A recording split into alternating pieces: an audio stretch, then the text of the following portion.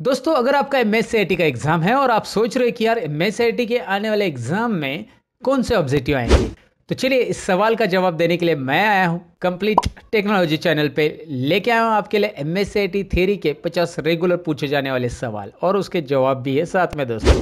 तो अगर आपके एम एस की एग्ज़ाम है तो ज़रूर ये वीडियो आप पूरा देखेंगे। उम्मीद है आपसे। चलिए शुरू करते हैं। मैं सतीश कंप्लीट टेक्नोलॉजी चैनल में आप सबका स्वागत करता हूँ। Let's begin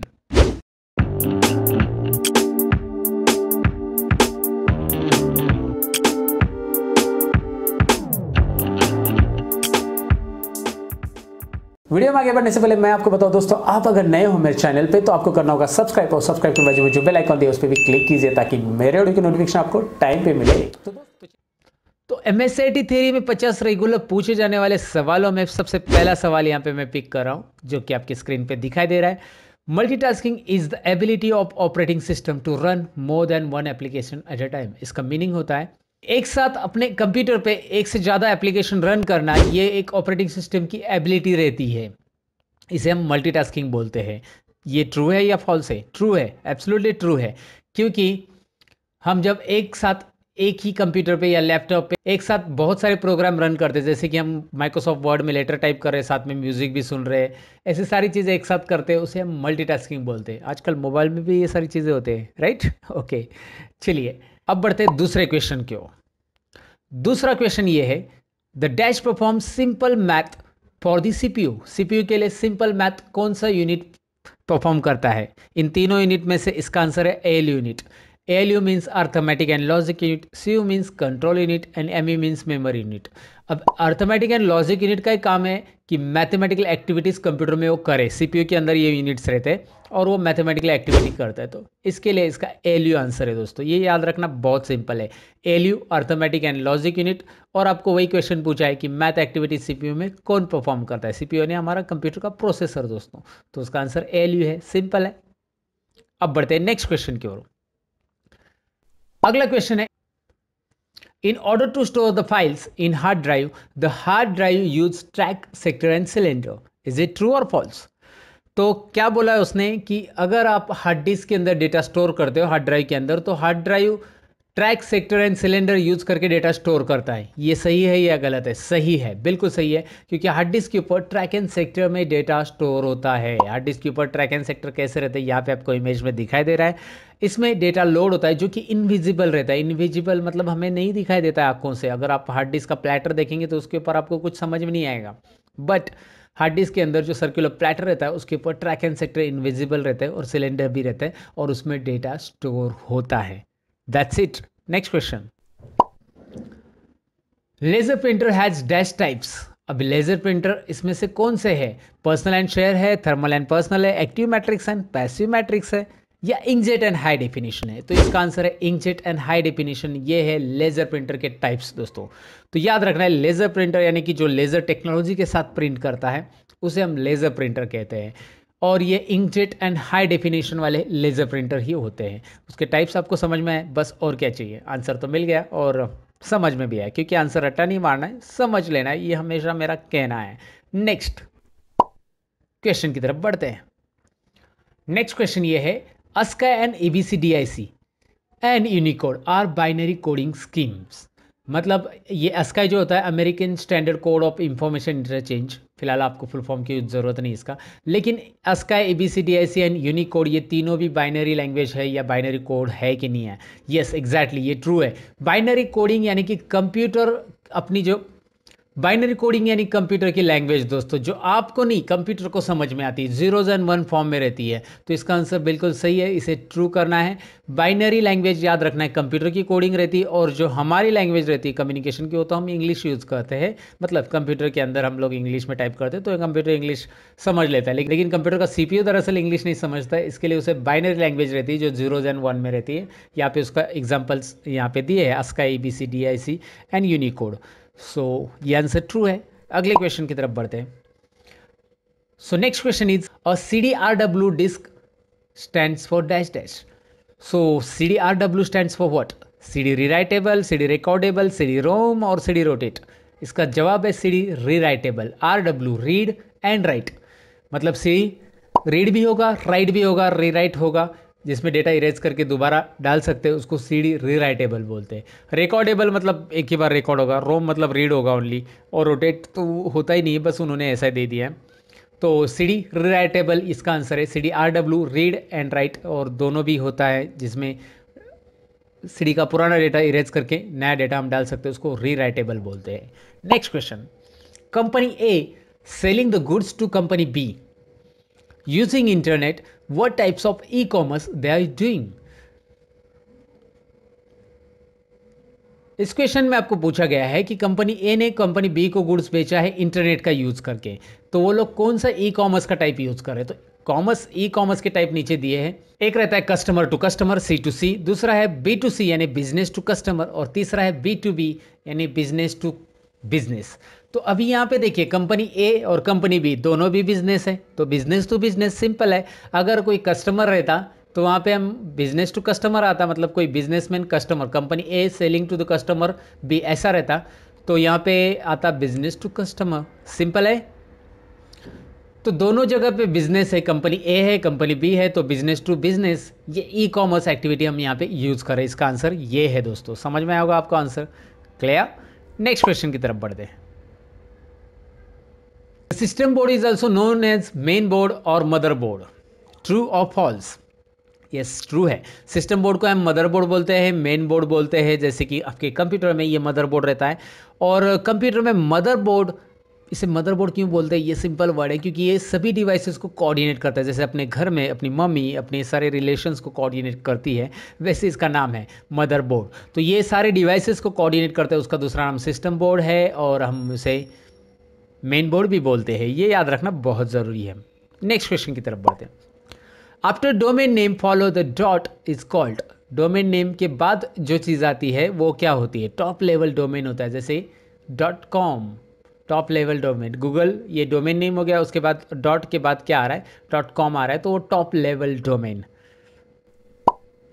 let's move to the next question अगला सवाल ये है graphical user interface is not available in Windows operating system how is it is that possible graphical user in Windows में नहीं है? ऐसा कैसा हो सकता है? नहीं तो ये प्रेजेंटेशन आपको देखने नहीं मिलेगा। अभी आप कंप्यूटर पे अगर बैठे हो तो कंप्यूटर पे आपको पूरा ग्राफिक्स ही मिलता है देखने के लिए और वो विंडोज़ में ही यूज़ कर रहे हैं हम लोग। तो ये बिल्कुल फॉल्स है। याद रखना है यहाँ पे कि ग्राफिकल यूज़र इंटरफेस विंडोज़ में है ही है। तभी तो विंडोज़ की अपनी पहचान है। नहीं तो डॉस जो रहता था इसके पहले डिस्क ऑपरेटिंग सिस्टम उसमें ग्राफिक्स नहीं था। अगर कोई क्वेश्चन ऐसा आ गया graphical user interface is not available in DOS operating system तो ये करेक्ट हो जाएगा ट्रू हो जाएगा। फ़िलहाल ये फॉल्स है। आगे बढ़ेंगे। नेक्स्ट क्वेश्चन ये है। Personal digital assistants are the most widely use handle computer यानी कि आप जो मोबाइल्स यूज़ करते हैं, वो सब most widely use handle computers ही होते हैं। तो इसे हम पीडीए भी बोलते हैं personal digital assistant handle computer मतलब आप हाथ से उसे यूज़ करते हैं मोबाइल एंड ऑल तो ये जवाब यहाँ पे ट्रू रहेगा। नेक्स्ट क्वेश्चन की ओर बढ़ेंगे। Process of coping information to your computer from a specially configure F T P server is called as तो आपको यहाँ पे पूछा गया है कि आपके कंप्यूटर में इंफॉर्मेशन कॉपी करना एफटीपी सर्वर से, यानी डाउनलोड करना कोई सर्वर से अगर इंफॉर्मेशन आप ले रहे हो तो उसे हम डाउनलोडिंग बोलते हैं। सिंपल है आंसर तो डाउनलोडिंग इसे याद रखना है। नेक्स्ट क्वेश्चन की तरफ़ बढ़ते हैं। G I means graphical user interface G का फुल फॉर्म क्या होता है? ग्राफिकल यूज़र इंटरफेस याद रखना है। G U I graphical user interface that's it next question Dashboards are a special type of serial port. Of connecting musical instrument like an electronic keyboard to a sound card. So so, ऐसा कौन सा poured है जो कि हम जिसके ज़रिए electronic keyboard हम कनेक्ट कर सकते हैं साउंड कार्ड को और एक म्यूज़िकल इंस्ट्रूमेंट कनेक्ट करने के लिए इसे यूज़ किया जाता है। उसका नाम है एमआईडीआई यानी कि म्यूज़िकल इंस्ट्रूमेंट डिजिटल इंटरफेस इस पोर्ट के ज़रिए हम इलेक्ट्रॉनिक कीबोर्ड यानी कि म्यूजिकल इंस्ट्रूमेंट कनेक्ट कर सकते हैं। ये सिंपल चीज़ याद रखनी है यहाँ पे और नेक्स्ट क्वेश्चन की तरफ़ बढ़ते हैं। Email includes all of the following basic elements email में एलिमेंट में से कौन कौन से एलिमेंट्स रहते हैं? ये आपको रहेगा। ये मल्टी चॉइस रहेगा। मतलब एक साथ आपको दो तीन ऑप्शन यहाँ पे चेक करने रहेंगे। तो उसके लिए बॉक्स भी रहेगा आगे चेक करने के लिए दोस्तों। Don't worry about that but यहाँ पे पूछा गया क्या है? Email includes all of the following basic elements email में क्या क्या रहता है और कौन सा नहीं रहता है? तो ईमेल में हेडर तो रहता ही है मैसेज भी रहता है सिग्नेचर भी रहता है। तो बुक मार्क ईमेल में नहीं रहता है। हेडर, मैसेज एंड सिग्नेचर, ये ऑप्शन आपको यहाँ पे चेक करने होंगे, तीनों भी ऑप्शन चेक करने होंगे। ऑब्जेक्टिव तो आगे चलते रहेंगे दोस्तों, लेकिन आप नए हो मेरे चैनल पे तो आप एक बार ये भी याद रखिए कि ये चैनल है कंप्लीट टेक्नोलॉजी, यानी computer tips and mobile tips के बहुत सारे वीडियोस ऑलरेडी मैंने अपलोड किए अगर आपको बनना है कंप्यूटर में स्मार्ट तो आपको इस चैनल को करना होगा सब्सक्राइब और बेल आइकॉन पे भी क्लिक करना होगा जल्दी से सब्सक्राइब और बेल आइकॉन पे क्लिक करके रखिए, ताकि आने वाले वीडियोज़ की नोटिफिकेशन आपको सबसे पहले मिलते रहेगी। कंप्यूटर की नई नई चीज़ें सीखते रहोगे। मेरा ये आपसे वादा है दोस्तों। चलिए बढ़ते हैं अपने नेक्स्ट क्वेश्चन की तरफ़। अगला सवाल ये है programs that automatically start and operate as a part of your browser are called browser के अंदर ब्राउज़र चालू होते ही कोई प्रोग्राम ऑटोमेटिक स्टार्ट होते हैं, उनको क्या बोला जाता है? प्लगइन्स बोला जाता है उनको। क्या बोला जाता है? प्लगइन्स जो प्रोग्राम ब्राउज़र के साथ होते हैं नए विंडो के साथ चालू होते हैं उसे प्लगइन्स बोलते हैं। तो इसका आंसर याद रखना है। Next Every day you receive email messages from unknown senders. What is the term for this type of security threat? तो आपको रोज नए नए मेल्स आ रहे हैं अलग अलग लोगों से जो कि अननोन यूज़र्स है, जैसे कि एडवर्टाइजिंग्स के मेल आते हैं तो ये सारे मेल चले जाते हैं स्पैम के अंदर स्पैम एक फोल्डर रहता है, अपने जी में कभी गए रहेंगे तो स्पैम एक फोल्डर आपको मिलेगा उसके अंदर अगर चेक करेंगे तो सारे एडवर्टाइजिंग के मेल पड़े रहेंगे मतलब अननोन लोगों से आए हुए मेल्स तो रेगुलरली अगर कोई आपको मेल कर रहा है तो वो ऑटोमेटिकली स्पैम में चले जाते हैं एडवर्टाइजिंग से आने वाले। ओके नेक्स्ट क्वेश्चन की तरफ़ बढ़ते हैं। You want to connect your computer to the another computer referring to the above scenario identify name of the card which you will require अगर आपको क्या करना है, एक कंप्यूटर दूसरे कंप्यूटर को कनेक्ट करना है तो उसके लिए कौन से कार्ड की ज़रूरत रहती है? आपको नेटवर्क इंटरफेस कार्ड की ज़रूरत रहेगी। अगर आपको दो कंप्यूटर एक दूसरे से कनेक्ट करने हैं तो दोनों में एन आई सी रहना चाहिए नेटवर्क इंटरफेस कार्ड बट मैं आपको बताऊँ कि यार ये कार्ड इंस्टॉल करने की आजकल ज़रूरत नहीं। मदरबोर्ड में inbuilt N I C port रहता है। उसको केबल लगा के डायरेक्टली एक कंप्यूटर दूसरे कंप्यूटर में हम कनेक्ट कर सकते हैं। नेटवर्क इंटरफेस कार्ड अलग सा लगवाने की ज़रूरत नहीं। अगर वो मदरबोर्ड का ख़राब हो गया तो ही लगवाना पड़ता है। आगे बढ़ते हैं। In a microcomputer system, the central processing unit CPU or processor is contained on a single chip called dash dash. Microprocessor एक सिंगल चिप में होता है उसे हम माइक्रो प्रोसेसर बोलते हैं प्रोसेसर बोलते हैं सीपीयू बोलते हैं बहुत सारे अलग अलग नाम है तो इसका जवाब एकदम सिंपल है माइक्रो प्रोसेसर जो कि कंट्रोल करता है पूरे कंप्यूटर को याद रखो ये सेंट्रल प्रोसेसिंग यूनिट भी होता है ये कंट्रोल करता है कंप्यूटर की सारी एक्टिविटीज़ और इस सिंगल चिप को माइक्रो प्रोसेसर बोलते हैं जो कि इमेज आपको स्क्रीन पर दिखाई दे रहा है अब आगे बढ़ते हैं। Microprocessor has two basic components इसमें से कौन से दो बेसिक कंपोनेंट रहते हैं? Control unit and arithmetic and logic unit ये दोनों आपको चेक करने रहेंगे। यहाँ पे मल्टीपल चॉइस क्वेश्चन है ये तो आपको दो आंसर टिक करने रहेंगे। वहाँ पे बॉक्स आता है। रेडियो बटन नहीं आता है गोल वाला। यहाँ पे चेक बॉक्स आता है चेक करना पड़ेगा आपको। तो control unit and arithmetic logic unit ये माइक्रो प्रोसेसर के दो बेसिक कंपोनेंट है, ये याद रखना है। नेक्स्ट क्वेश्चन की तरफ़ बढ़ते हैं और उसमें है to listen songs from your computer you need to install dash type of card on your computer अब गाने सुनने हैं तो कंप्यूटर में कौन से कार्ड लगाने की ज़रूरत है? साउंड कार्ड की ज़रूरत है, लेकिन फिर से मैं आपको वही बताऊँगा कि मदरबोर्ड के ऊपर साउंड कार्ड ऑलरेडी इनबिल्ड रहता है। अलग सा लगाने की ज़रूरत नहीं है। You don't have to install all this things यार। पहले से रहता है मदरबोर्ड के ऊपर आजकल इनबिल्ड पता नहीं एम एस वालों ने ये क्वेश्चन क्यों दिया है, लेकिन इसका आंसर तो याद रखो, आप साउंड कार्ड है दोस्तों। अगले सवाल की तरफ़ बढ़ेंगे और यहाँ पे अगला सवाल computers use the dash number system to store data and perform calculations video तो आगे चलते रहेगा दोस्तों लेकिन अब तक का वीडियो आपको अच्छा लगा है तो लाइक बटन पे क्लिक कीजिए। जल्दी से कीजिए। किया ना? कंप्यूटर में कौन से नंबर सिस्टम यूज़ किया जाता है? कैलकुलेशंस परफॉर्म करने के लिए। बाइनरी ऑफकोर्स मैंने आपको पहले ही बोला बाइनरी लैंग्वेज रहती है कंप्यूटर की। सो बाइनरी नंबर सिस्टम होता है डेटा स्टोर और कैलकुलेशंस करने के लिए कंप्यूटर के अंदर। याद रखना है simply next a keyboard like caps lock that turns features on और off is called dash key keyboard के ऊपर ऐसे कुछ कीज़ है जिससे ऑन और ऑफ़ होता है दोनों भी। तो ऐसे तीन कीज़ है, याद रखना है। उन कीज़ का भी नाम बता देता हूँ यहाँ पे। Caps lock num lock and scroll lock ये तीन कीज़ है और ये तीन कीज़ ऑन भी होती है, ऑफ़ भी होती है। जैसे कैप्स लॉक ऑन ऑफ़ करेंगे तो कैपिटल स्मॉल होता है नंबर ऑन ऑफ़ करेंगे तो नंबर बंद हो जाता है नंबर लॉक और स्क्रोल लॉक ऑन ऑफ़ करेंगे तो स्क्रोलिंग ऑन ऑफ़ होता है।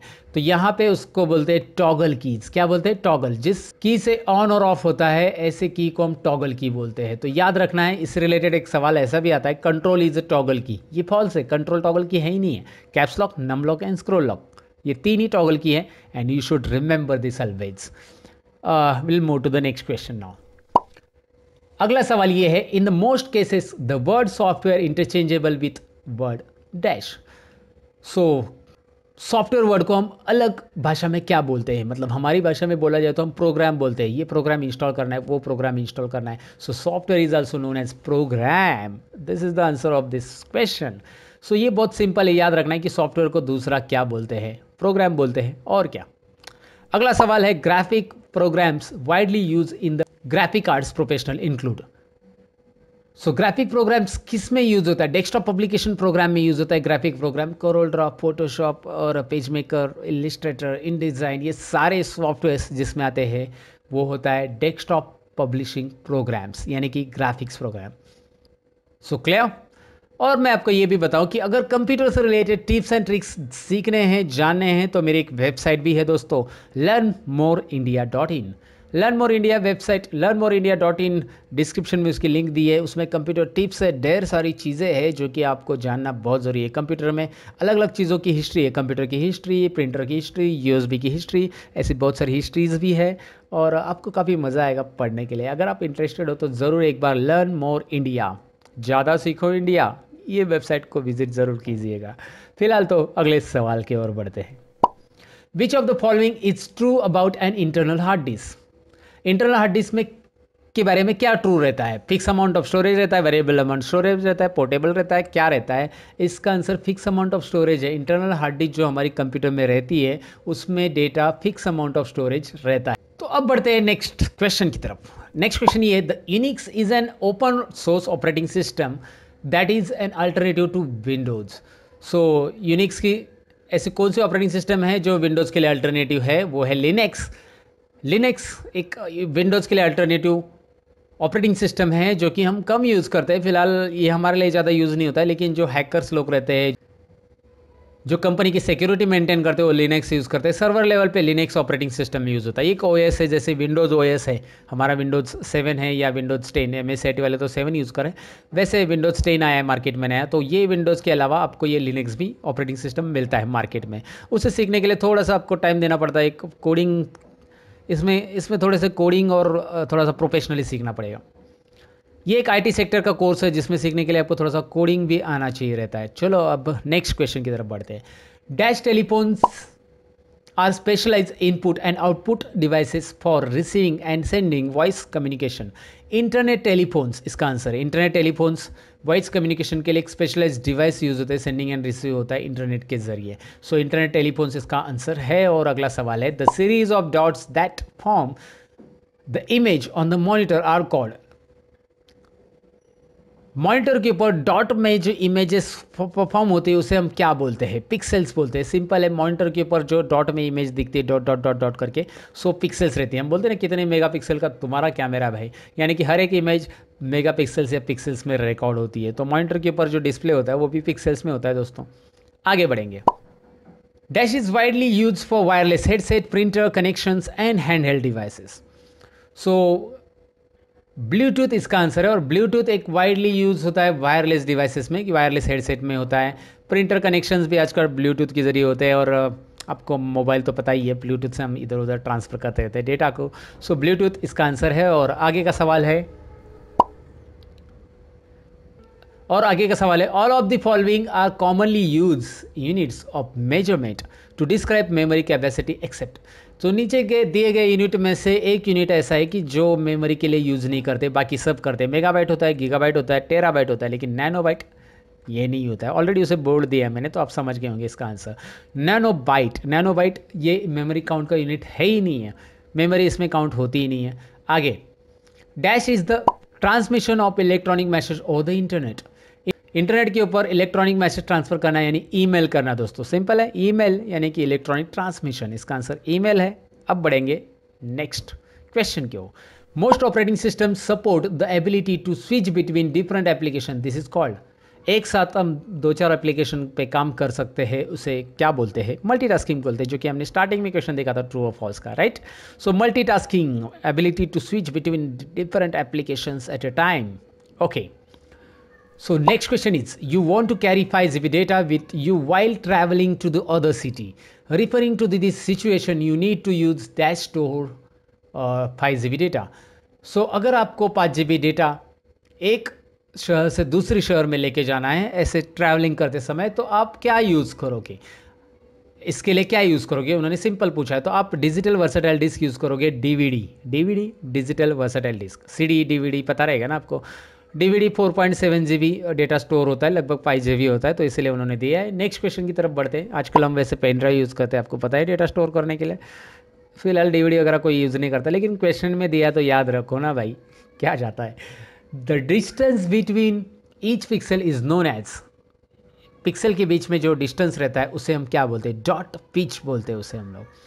सो so, uh, जो पिक्सल्स होता है पिक्सल यानी कि यू नो दैट इमेज के ऊपर डॉट डॉट फॉर्म में इमेज तैयार होती है उसे हम पिक्सल बोलते हैं और दो पिक्सल के बीच का डिस्टेंस यानी डॉट पिच और अगला सवाल ये है the most frequently use output device is the हमेशा यूज़ करने वाला आउटपुट डिवाइस इसका मतलब होता है मॉनिटर होता है प्लॉटर तो नहीं होता है प्लॉटर कभी कभार आउटपुट है लेकिन कभी कभार यूज़ करते हैं। माउस का तो सवाल ही नहीं आता वो इनपुट है स्कैनर भी इनपुट है। सो so, इसका आंसर है मॉनिटर मॉनिटर एक हमेशा या फ्रिक्वेंटली यूज़ करते हैं और रोज़ ही यूज़ करते हैं यार। मॉनिटर नहीं तो कंप्यूटर कैसे चलेगा?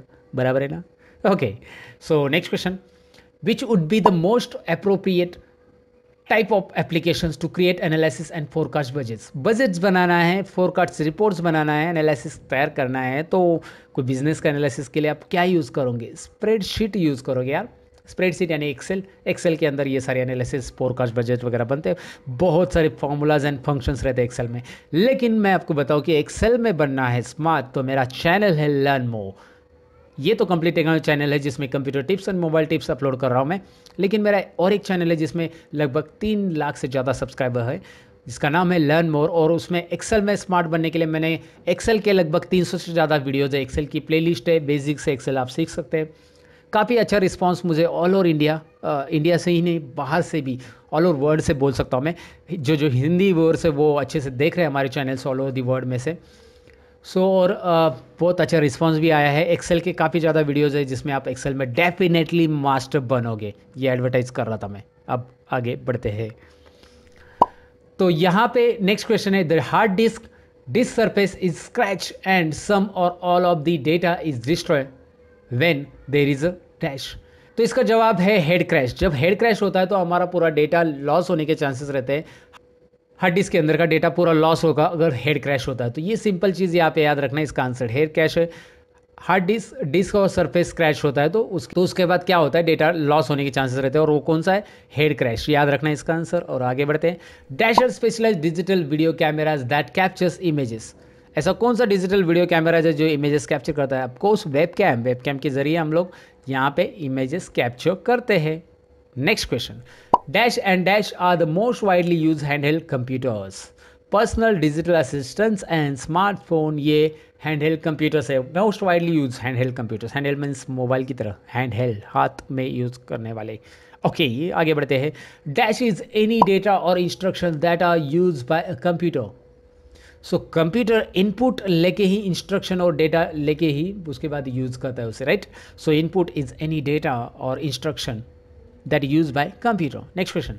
The keyboard keys that have arrows on them are called keyboard की जिस पे एरो रहती है आप सबको पता होनी चाहिए यार उसे नेविगेशन कीज बोलते हैं arrow key up and down left and right that's a navigation keys to navigate page up and down and left and right next question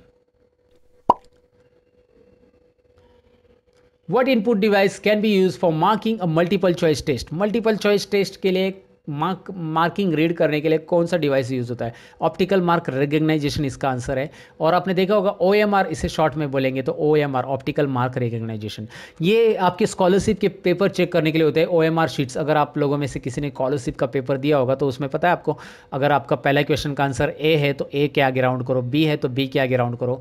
सी के लिए राउंड करो डी के लिए राउंड करो और आप राउंड करते जाते हो जाते हो और ऑटोमेटिकली कंप्यूटर उसे चेक करता है ओ एम आर स्कैनर के ज़रिए। सो ऑप्टिकल मार्क रिकग्नाइजेशन इसका आंसर है, याद रखिए बस। Next you can use this website to watch और download video files video files download करने के लिए और वीडियो देखने के लिए आप यूट्यूब यूज़ करें, जो कि अभी आप वही कर रहे हैं ना। यूट्यूब ही देख रहे हैं ना दोस्तों? तो इसका जवाब बिल्कुल सही है यूट्यूब आगे बढ़ते हैं। The last part of the domain name following the dot is called header it's false header नहीं बोल सकते हम डोमेन नेम के बाद जो होता है वो। सो so, ये आंसर फॉल्स रहेगा और आगे की क्वेश्चन की तरफ़ बढ़ते हैं और आगे का क्वेश्चन है plug ins is program that is automatically started and operates as a part of browser. Yes plugins ऐसे प्रोग्राम होते हैं कि जो ऑटोमेटिक स्टार्ट होते हैं ब्राउज़र का एक पार्ट ही होता है ब्राउज़र के साथ ही वो स्टार्ट होते हैं। तो ट्रू है। और next question mailing list allows members to communicate by sending messages to a list address जैसे माइक्रोसॉफ्ट वर्ड के अंदर लेटर एंड मेलिंग एक ऑप्शन रहता है, जिसके ज़रिए हम लोग क्या कर सकते हैं? बहुत सारे लोगों के साथ वो मैसेज कम्युनिकेट कर सकते हैं। अलग अलग एड्रेस जो हमने लिस्ट में ऐड किए, वो सब के लिए हम लेटर बना सकते हैं। तो मेलिंग लिस्ट याद रखना है, इसे ट्रू याद रखना है। B to C C to C business to customer customer to customer and business to business are the types of e commerce simple जवाब है, इसका ई कॉमर्स का टाइप होते हैं ये तीन। Next question universal product code is read by what type of scanner universal product read कौन से स्कैनर से रीड होते हैं? बार कोड रीडर से होते हैं। बार कोड रीडर तो आपने देखा होगा मेडिकल शॉप में वगैरह। वो प्रोडक्ट के ऊपर जो कोड रहते हैं, वो रीड करता है। तुरंत बिल रेडी हो जाता है। That's it dash printer create irritating noise while printing print करते समय ये प्रिंटर बहुत नॉइज़ क्रिएट करता है इरिटेटिंग नॉइज़ क्रिएट करता है। उसको कौन सा प्रिंटर बोलते हैं हम लोग? डॉट मैट्रिक्स प्रिंटर याद रखना है, ये बहुत इरीटेट नॉइज़ करता है। प्रिंट करते समय। अब यहाँ पे और भी प्रिंटर दिए है इंकजेट प्रिंटर इंकजेट प्रिंटर क्या होता है? इंक स्प्रेड करता है पेपर के ऊपर। Dash printer spreading ink on paper while printing that is inkjet printer laser printer dash printer use laser technology while printing laser printer and thermal printer thermal printer के बारे में बताऊँ तो dash required heat sensitive paper dash printer required heat sensitive paper thermal printer ये printer के बारे में जानना बहुत ज़रूरी है आपके लिए। तो इस तरह से ये टोटल 50 ऑब्जेक्टिव मैंने यहाँ पे कवर कर लिए हैं। अब आपकी बारी इस ऑब्जेक्टिव को सॉल्व करना। तो चलिए, मैं आपको दिखाता हूँ। अगर इन ऑब्जेक्टिव को आपको सॉल्व करना है तो डिस्क्रिप्शन में मैंने एक लिंक दी है M final exam objective regular question इस तरह से वो लिंक आपके मोबाइल में ओपन हो जाएगी। और आप नीचे स्क्रॉल करेंगे, यहाँ पे आएगा questions multitasking is the ability of operating system to run more than one application at a time तो आपको ट्रू या फॉल्स चूज़ करना है और चेक करना है आपका आंसर यहाँ पे सबमिट करके। जैसे आप सबमिट करोगे, यहाँ पे लिख के आएगा करेक्ट आपने ट्रू किया तो। और फॉल्स किया होता तो क्या आता? लिख के रॉन्ग तो ये मैंने बनाया है आपको प्रैक्टिस करने के लिए। जो क्वेश्चंस मैंने यहाँ पे दिए हैं, वो टोटल पचास क्वेश्चंस यहाँ पे है। तो यहाँ पे डिस्क्रिप्शन में इसकी लिंक दी है, वहाँ पे क्लिक कीजिए और तुरंत इसका प्रैक्टिस करके देखिए कि आपके कितने बराबर आते हैं। मतलब आपने वीडियो तो पूरा देखा होगा, लेकिन इसको सॉल्व करना तो पड़ेगा। आपको एक जज करना पड़ेगा कि आपके कितने ऑब्जेक्टिव यहाँ पे याद रह चुके हैं। तो याद रहे कि नहीं रहे, इसके लिए ये मैंने पर्टिकुलर मेरे वेबसाइट पे एक लिंक दे दिया आपको क्वेश्चन सॉल्व करने के लिए। यही मेरी वेबसाइट है जो मैंने स्टार्टिंग में बताया था।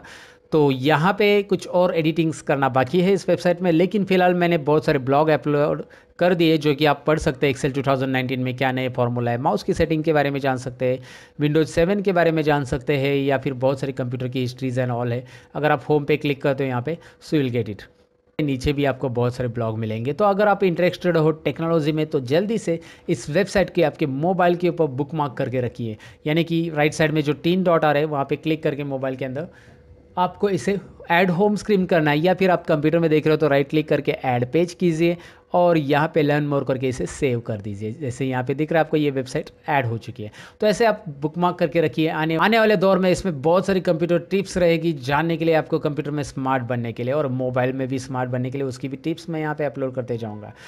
और अगर आप प्रैक्टिकल का भी वीडियोस देखना चाहते हैं तो वीडियो सेक्शन में क्लिक कीजिए और वीडियो सेक्शन में क्लिक करने के बाद यहाँ पे नीचे स्क्रॉल करके आपको मिलेगा यहाँ पे एम एस का प्रैक्टिकल का वीडियो ये एक वीडियो है जिसमें 50 आउट ऑफ़ 50 मार्क्स कैसे आपको मिल सकते हैं, इसके बारे में पूरा बताया। प्रैक्टिकल ऑब्जेक्टिव दोनों भी यहाँ पे मैंने बताया। किस तरह से एग्ज़ाम आती है, ये भी मैंने बताया। That's it for the day दोस्तों। आज के लिए बस इतना ही था। उम्मीद है आपको ये पसंद आया होगा। लाइक ऑलरेडी किया होगा। लाइक कीजिए दोस्तों के साथ शेयर कीजिए और मुझे बता दीजिए कमेंट सेक्शन में कि कैसा लगा आज का वीडियो एग्ज़ाम होने के बाद एम सी की एग्ज़ाम होने के बाद मुझे ज़रूर लिखना कमेंट सेक्शन में कि आपको कितने मार्क्स मिले। मुझे इंतज़ार रहेगा आपके मार्क्स का। डेफिनेटली आप अच्छा स्कोर करोगे। All the best for the exam मिलूँगा अगले वीडियो के अंदर। तब तक के लिए सीखते रहो, सिखाते रहो। हमेशा की तरह। Bye bye